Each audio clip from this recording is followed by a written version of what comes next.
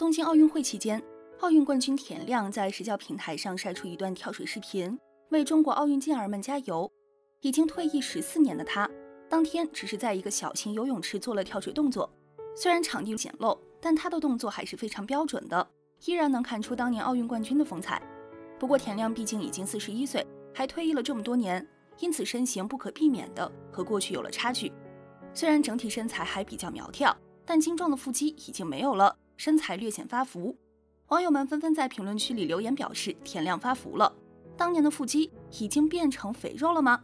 还有人调侃他说加字幕就是为了遮肉，肚子别泄气了亮哥。当然，对于田亮的技术水平，大家都还是予以了肯定，直呼太牛了。叶一茜也在网上晒出田亮当年的帅气跳水合集，并配文表白道：“爱了爱了，一眼万年，妥妥的小迷妹。”网友直呼夫妻俩太甜了。跳水一直是我国体育的一个强势项目。说起跳水，很多人都会想到郭晶晶、伏明霞、吴敏霞等人。他们不仅有着强悍的跳水能力，还有着相当高的颜值，深受国内人民的关注和喜欢。即便如今他们都已经退出跳水台多年，但是他们的退役生活依旧是众人关注的焦点之一。今天小编要介绍的却不是他们其中的一个，而是另外一个奥运男子跳水冠军田亮。他的职业生涯可以说是非常光鲜的，家中有七十多块奖牌见证他的成就。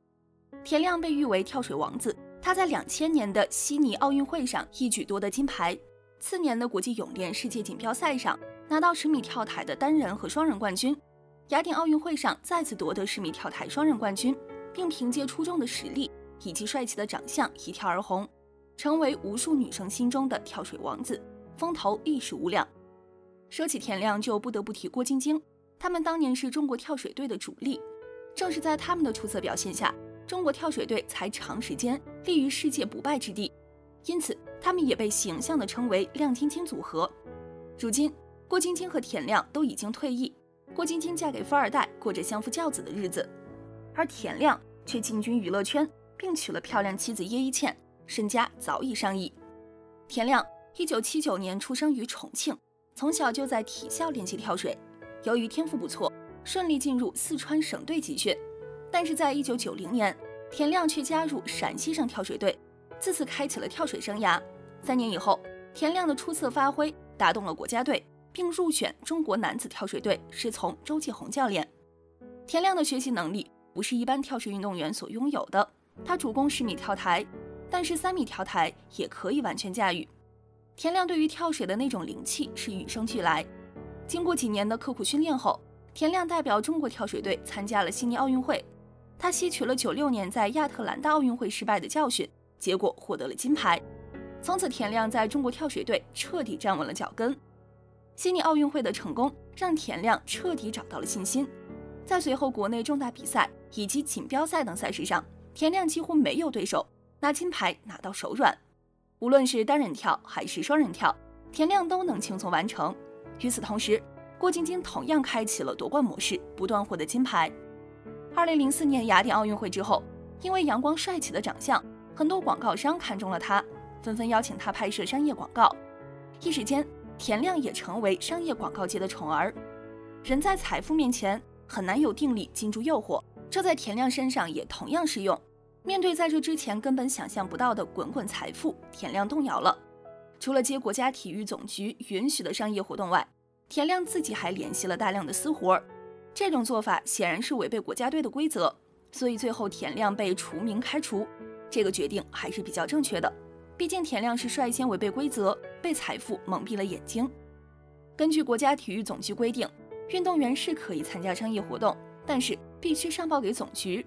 然后经过批准才可以接活动，换句话说，也就是所有在役运动员的商业收入必须要分一部分钱给总局，这也是一直以来的规定。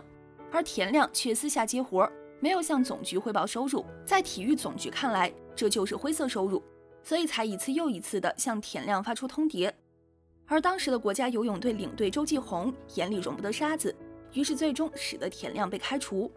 田亮被除名，很大程度上也是为了杀一儆百。国家游泳队有那么多优秀的运动员，国家游泳队不可能因为田亮一个人坏了规矩。